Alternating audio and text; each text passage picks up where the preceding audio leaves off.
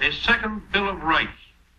under which a new basis of security and prosperity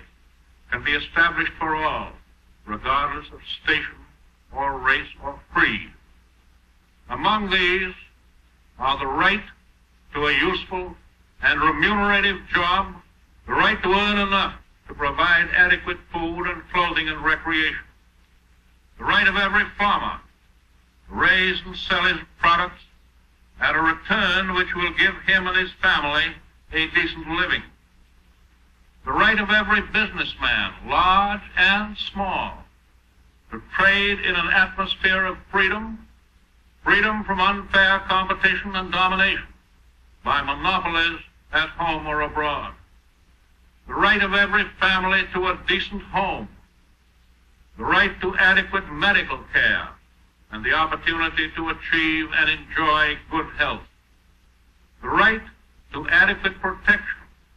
from the economic fears of old age, sickness, accident, and unemployment, the right to a good education. All of these rights spell security.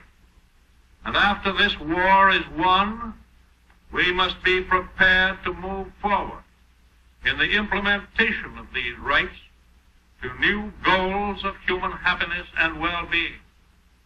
For unless there is security here at home, there cannot be lasting peace